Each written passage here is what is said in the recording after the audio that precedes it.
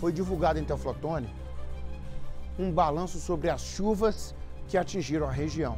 Equipes da administração municipal e defesa civil percorreram a cidade fazendo um levantamento e prestando atendimento, claro, né, às famílias atingidas. Deixa eu chamar Fantoni Peso, porque é um assunto que nos toca, Fantoni, porque a chuva vem, claro, tem provocado esses estragos, mas agora é o momento, né, de juntar tudo, né, Fantoni, limpar a cidade, restaurar as coisas que foram quebradas, ajudar, atender as pessoas, graças a Deus, é, a, a, a, gente não falou de vítimas, né, Fantoni? Fatal e essas coisas todas. Pelo menos até aqui não falamos disso. E você vai atualizar para a gente a informação, amigo. Bom dia.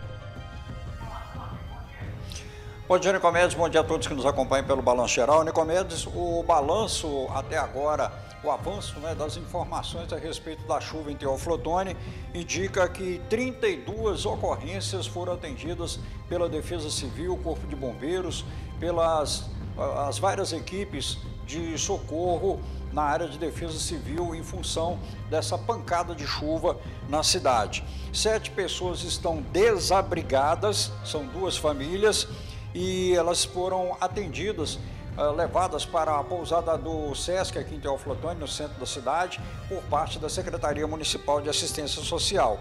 O número de desalojados também é de sete que estão abrigados, foram eh, acolhidos por parentes e amigos. As pessoas afetadas né, que estão sendo atendidas, estão sendo acompanhadas, ninguém se feriu nessa circunstância aí dessa chuva.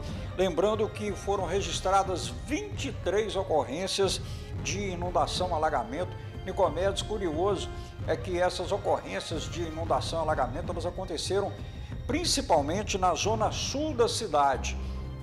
Uma característica interessante dessa chuva, você imagina uma população de quase 140 mil habitantes e a chuva fica concentrada numa região da cidade. Aí, Nicomedes, haja sistema de escoamento de água.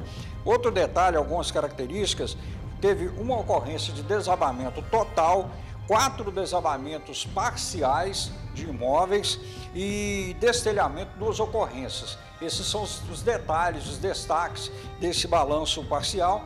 As equipes da Defesa Civil, Nicomedes, continuam em alerta. Isso porque o boletim do, de, de meteorologia, ele indica que nós teremos chuvas, pancadas de chuva para os próximos dias, até o final de semana. A média de chuva, Nicomedes, em torno de 25 milímetros. Ali, ali, 25, 30, essa é a previsão. Mas pode ser mais, pode ser menos. Será que ela vem realmente escalonada 25, 30 milímetros por dia? Ou salta um e vem junto? Então, tudo isso é, é a expectativa de previsão de chuva.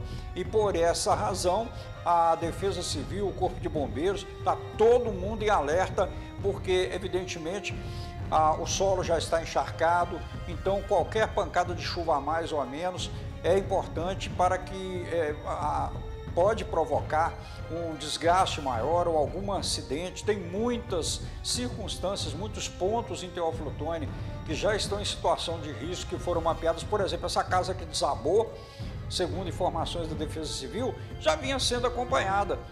Ela já vinha sendo monitorada, mas as pessoas continuaram no local até que a casa caiu. Ainda bem que ninguém ficou ferido.